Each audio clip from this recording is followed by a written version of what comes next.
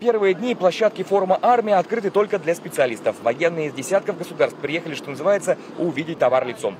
Сумма только анонсированных контрактов, которые заключат здесь в ближайшие дни, перевалила за полтриллиона рублей. И это не только военная техника, но и уникальные разработки двойного назначения. Российская компания «Савелмаш» запатентовала подход к созданию двигателей, который значительно уменьшает размер силовой установки без снижения мощности. Инновационный метод применяют, например, и в создании электроинструмента, и для модернизации бронетехники.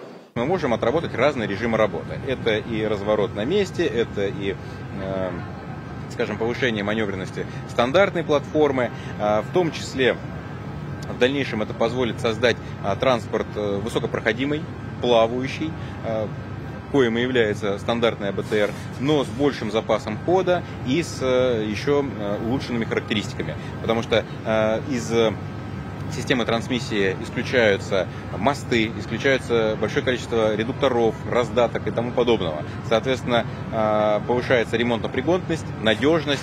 И э, в нашем случае здесь мы отрабатываем системы э, последовательного гибрида, поэтому стандартный двигатель также удален.